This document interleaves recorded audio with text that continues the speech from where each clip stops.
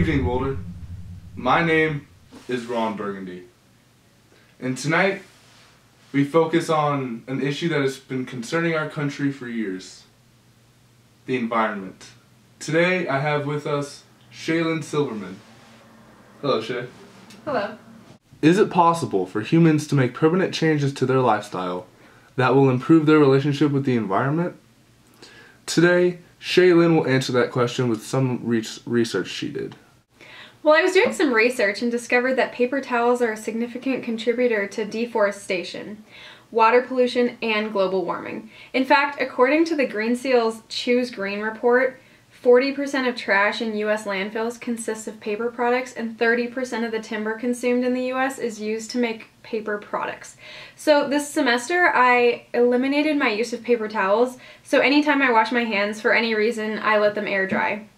I knew first off that, you know, even if this change didn't have a significant impact on the environment, um, that it would force me to always be like consciously aware of my actions and how they affect how they affect the environment and through this, I thought my relationship with the environment would improve and it would possibly lead me to subconsciously make other changes to my lifestyle to help the environment. And I knew that this would test my willpower. And given that this is only a small change, it would tell me whether I could make larger, more significant changes to my lifestyle in the near future.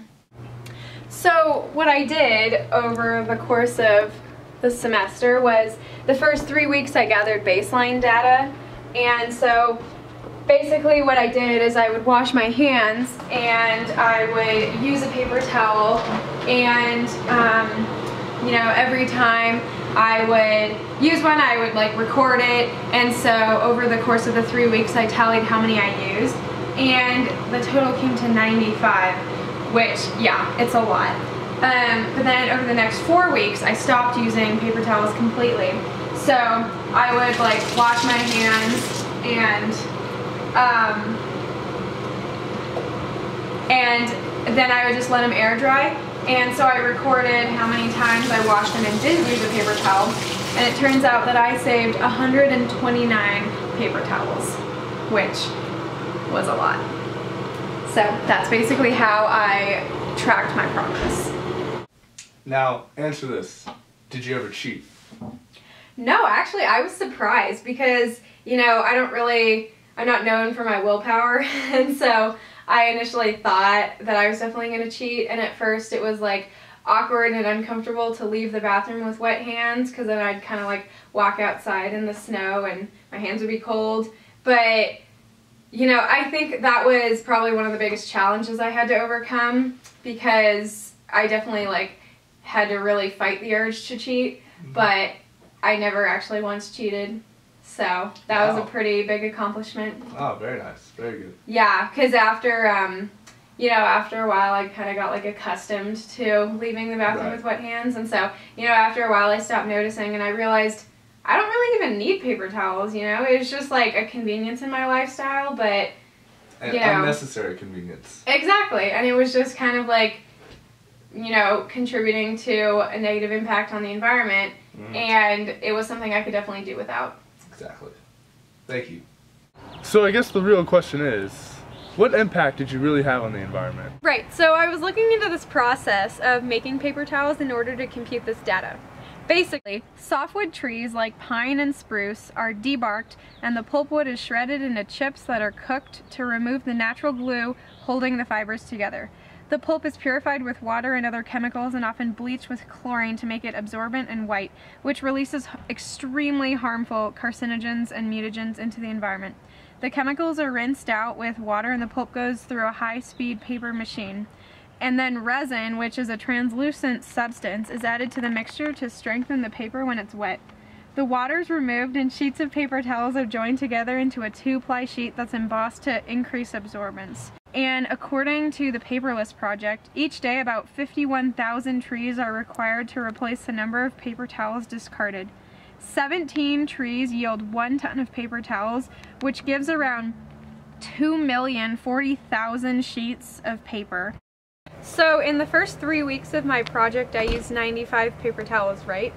So there are approximately 15,000 sheets of paper that can be produced from a single tree. And I used about 0.005% of a tree. And um, over the next four weeks, I didn't use 129 sheets of paper towels, and so I saved 0.006% of a tree. Did you have any impact aside from saving trees? Yes, to make one ton of paper towels, 20,000 gallons of water are polluted in rinsing the ink out of the pulp and through the use of chemicals to purify the bleach and pulp. Because there are 2,040,000 sheets of paper in a ton, using 95 paper towels used 1.26 gallons of water, and then not using 129 paper towels saved 1.26 gallons of water. Eliminating paper towel use also prevented the harmful carcinogens from being emitted into the environment during the bleaching process. That sounds incredible, but does that data really represent the impact you had on the environment? Unfortunately, these were just my theoretical calculations and I think that was one of the biggest challenges was that you know, it didn't really bring about a real effect on the environment because the paper towels I didn't use were just used by someone else. And so it was hard to motivate myself to continue. This was like probably the biggest challenge because I like didn't really feel like I was producing a legitimate effect on the environment. Wow, it sounds like this project was not worth your time. Is that what you're telling me? Based on this data, would you advise others to make this change to their lifestyle? No, actually the opposite. According to statistics from the Paperless Project, more than 13 billion pounds of paper towels are used each year, creating 3,000 tons of paper towel waste. That's a lot. If every household in the US used three less rolls per year, it would save 120,000 tons of waste and $4 million in landfill dumping fees. For me personally, based on the amount of paper towels I avoided using in the four week period, I would save 1,677 paper towels per year. So I'm walking into the bathroom of my sorority and uh, something I've noticed is that there's like definitely a huge um, problem with like paper towels. Um, they're just, this is like the primary source that we use to dry our hands. And after doing this project, I, I'm realizing like how unnecessary they are. We really don't need to have this stack of paper towels. It's just like problematic because, you know, you you reach for one and if your hand is wet, it makes half of them wet and so people are less likely to want to use them and they'll throw more away or they'll grab multiple at a time and it's just like such a waste and we just really don't need it. And so after doing this project, I kind of like started thinking about ways that in my own sorority house I can change and make things a little more like environmentally friendly. What about those who cannot completely give up paper towels? Are there other options? Yes, according to the Green Seal's Choose Green report, people can still reduce their impact in other ways. If people use 100% recycled paper, such as EcoSoft Green Seal bathroom tissue, which also includes a chlorine-free manufacturing process, which is very good, there is a large positive effect on the environment. Every ton of 100% recycled paper saves an estimate 7,000 gallons of water and 60 pounds of air pollutants. If all paper towels were made with this recycled material, approximately 1 million tons of used paper would be kept out of our waste stream and 3.5 tons of wood would be saved for every ton of bathroom tissue produced. A large problem with today's current use of paper towels is that these are considered one-time products. So as soon as a paper towel is used, it's thrown away, which is highly inefficient and creates so much waste. But this can be changed. I don't think legislation needs to change, but I think we definitely need to promote environmental awareness about our impact when we use paper towels because the collective um, stopping of paper towel use could promote like manufacturing changes so they could stop producing paper towels, which would be very, very helpful. So one thing that I learned from doing this project is that it's definitely hard to stay motivated when I'm not really perceiving any real effects um, that my actions are having on the environment.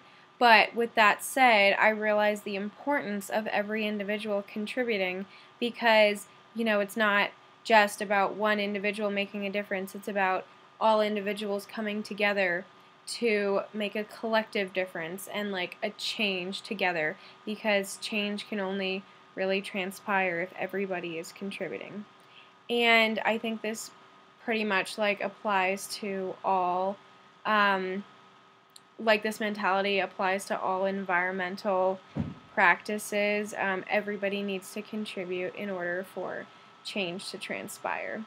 And um, I guess like one thing that I realize is that we often take our environment for granted and we just tend to exploit it for things we need like paper and or things at least things we think we need.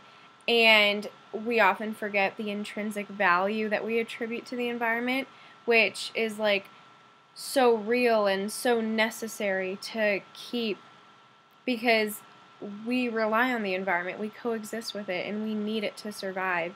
And just destroying it, like we're doing, for things that we don't even need, like paper towels, is completely unnecessary and it's horrible. We we share the like world with you know with animals and with trees and at this rate cutting down 19 million trees a year to make drying our hands a little more convenient is not okay at all. In no way is it moral, and we need to start valuing trees beyond just their usefulness to us. So now that your project is over, do you think you will stop using paper towels?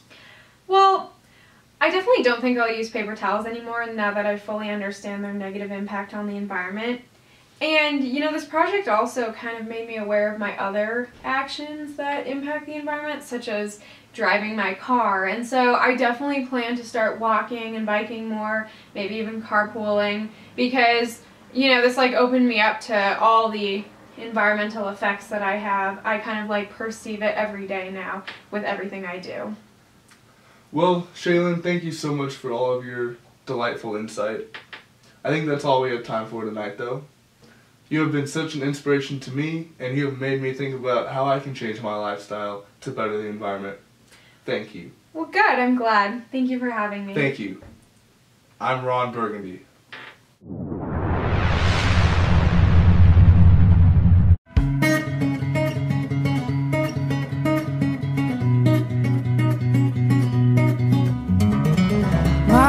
Cold-hearted child. Tell me how you feel. Just a blade in the grass I spoke onto the wheel